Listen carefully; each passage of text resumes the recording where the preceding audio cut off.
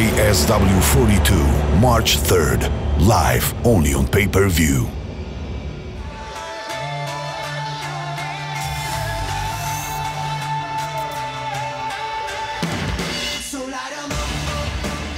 So there's the numbers up on screen for this lightweight world title. The KSW strap up for grabs at 70 keys. Mateusz, the gamer Gamrot, comes to this with 11 and 0. Renato Pegino Gomes Gabriel at 19 and 8. He comes as the contender, but will he be a pretender? Because Gamrot, the youngest champion in KSW, is gonna defend that belt like the keeper of the castle. Listen, Chris, this is going to be an explosive bout. The Brazilian hasn't come a long way for a short fight. The gamer's got his hands full. How's it going to play out? It was so intense at the weigh-in, super, super tough stuff. I think Pagino is going to go for an early finish, and the gamer wants to make this one as convincing as it can be in defending the strap tonight here in Zielona Góra. Oh, both fighters paying each other respect. There was a little burst of activity first off where the gamer Gamrot tried to impose himself, but there's a standoff here. There's the shoot for the takedown. Does it come to anything?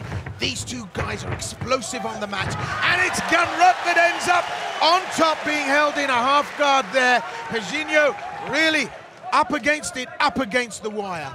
This was one of the most important questions coming into this contest, was how quickly would the wrestling of the gamer become a factor? Pagino, I feel, needs to stick and move and avoid being put down early in the contest. And right now, it's the gamer who seems to be getting the better of the two game plans. Well, as I said, 11 0. This Ankos MMA product comes into this with an unbeaten record. Renato Pagino Gomes Gabriel, of course, Brazilian. He's been round the block. He knows his way around the ring.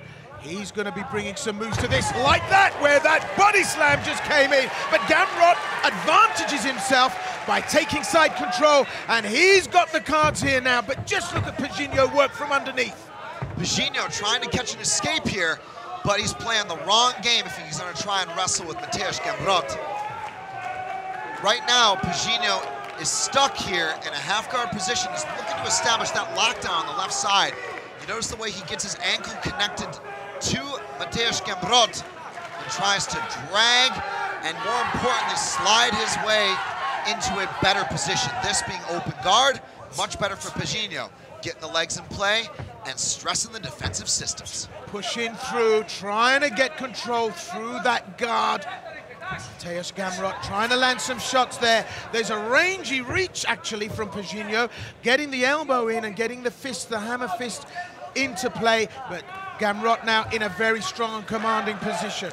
We saw in his last performance how dominant he was here against Mansur Barnaoui in a thrilling back and forth fight.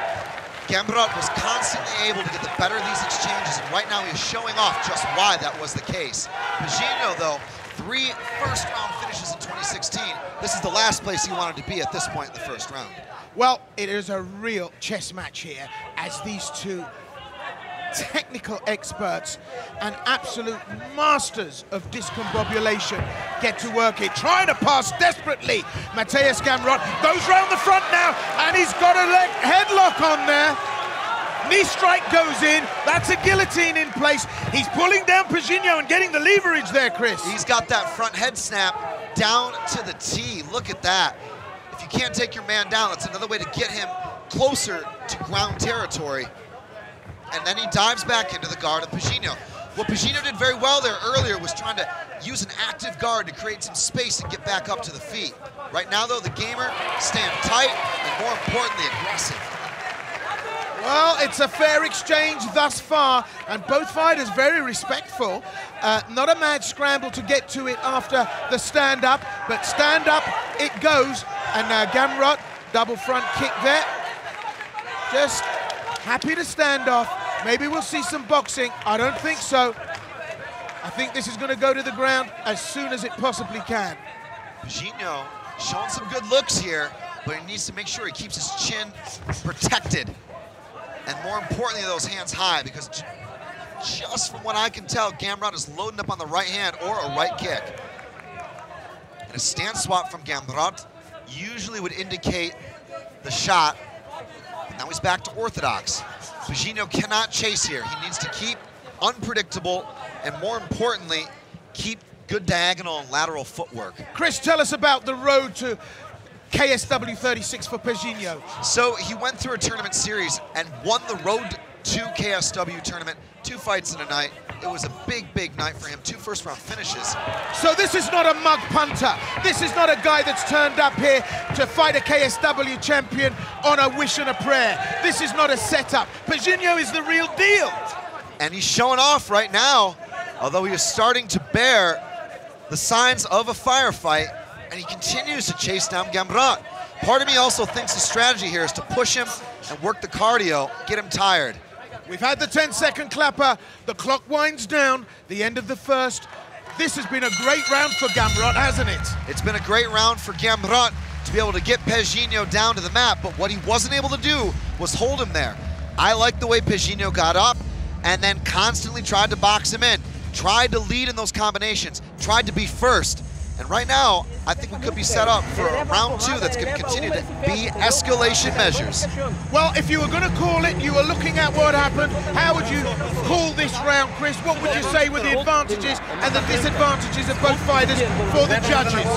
Gamer with the takedown, the top control, the positional dominance. Pagino with some good aggression on the feet in the last 90 seconds. The majority of that, though, has to go to Gamrot. I believe he won that round 10-9. Well, that was a big mistake there. Gamrot lifted that leg up and it allowed Pagino with those long-rangey arms to hook up underneath the knee, lift his man up and slam him down. But, uh, you know, that's not going to intimidate Gamrot in any way, shape or form. Yep, I agree with you. I think that Gamrot going into the second has got the edge, got the advantage, but the game is long. Pagino is not going to come a long way for a short fight. He's going to be doing the business here. We go to round two. And let's not forget, this is for a title strap. It's the KSW World Lightweight title. Two of a scheduled three. And immediately Pagino out of the gate like a racehorse running forward, but that would be the mistake. If you move one way, it's easy to set up the level change. All the way underneath, sucks his hips away, and like a folding chair collapses down to the canvas. The transition was beautiful, wasn't it, from that upright position to that shoot from Gamrot. He is a master. Down he went. Pagino didn't see it coming. When it came, it was too late. So he's given up his back a little bit here. He's managed to turtle out of that, wheedle out of that on the wire. But Gamrot has taken him back down and being held in half guard. He's in that top controlling position. Outside trip for Gamrot. Good pressure here. More importantly, a deep right underhook and head pressure to try to advance his position and slide up higher. This is too good a matchup for it to end suddenly or abruptly. These guys are real players. They know what they're doing. We're looking at a long night here of hard work. We're looking at a, an attritional contest between these two, and you're going to see subtle skills because nothing obvious is going to be made available for the naked eye. This is all about twitch and jerk. Pagino known more as a finisher. Gamrot pretty even on the decisions and the stoppages. We've got to remember, Pagino has been through everything to the top of the heap in the domestic scene in Brazil, which is no small feat in itself. So, as you said, Will, he is going to be gunning for the finish here tonight. But Gamrot doing the right thing of slowing the pace down and ensuring he keeps control of every exchange in every position. Masterful, masterful work from Gamrot. Controlling from the side, he's trying to slip that leg in to take advantage. There's an arm available to him there, that left arm, but uh, tweak and jerk, as I said, and bang, that's gone. And Gamrot working furiously. It's Gamrot that's got the work rate here, and uh, Pagino trying to get to the upright, but he's given up his back for the second time. There's the hand round the neck, there's the choke. Down goes Gamrot, and down goes Pagino as well. There's the rear naked. Hidaka he's gonna have to give up to this. He's got that really nicely with the seatbelt grip, but excellent defense from Pagino. And Gamrot thought about going for a head and arm choke there, but Pagino is a tough guy. He is very, very determined here tonight. I know the head is in the game. The word in the locker room, total motivation. And he nearly caught Gamrot earlier with a scissor sweep. Also, as you alluded to, Will, controlling the arm with the figure four. But this is really bad right now. Gamrot having passed the legs and into side control. Well, we saw Mateusz Gamrot pre-fight in the hotel yesterday evening and today, and the man was in the zone. He was so focused. Well, he's given up a leg now, Pagino. There's a lock about to be applied. Stuck here in a beautiful 50-50 exchange. He thought about an inverted heel hook option, and both fighters have leg lock opportunities here. And you notice the way that Pagino covered up his leg, the exposed heel, the piece that was in jeopardy. Man, this is an absolute struggle for position. And right now, Gamrot's got that one caught. Can Gamrot put the leverage on? Pagino could be in trouble. He's in the pain locker here and he's going for it, but great defense from Pagino. He knows exactly when to sit up into that. He knows when to put his weight down. He knows when to hand fight. There we go, he's got it! There's the tap out, and it's all the gamer Gamrot, has defended his title here tonight at KSW 36! He did a great job there of swapping up those attacks, and it's thinking two and three moves ahead in submission fighting that makes it the ultimate equalizer at all times in MMA. Pagino in a lot of pain, and that shows you the leverage that was exposed to him there. What an absolute, unbelievable ultimate finish there from Mateusz Gamrot. Chris, talk us through the action there. Pagino was fighting smart. He was being methodical, but he was taking a gamble by engaging in that position. It's not called 50-50 for nothing here, Will. Take a look at this. All the way reaching behind the ankle was the gamer, and he rolls through to try and expose some space so that he can get that heel into the crux of his elbow and his forearm.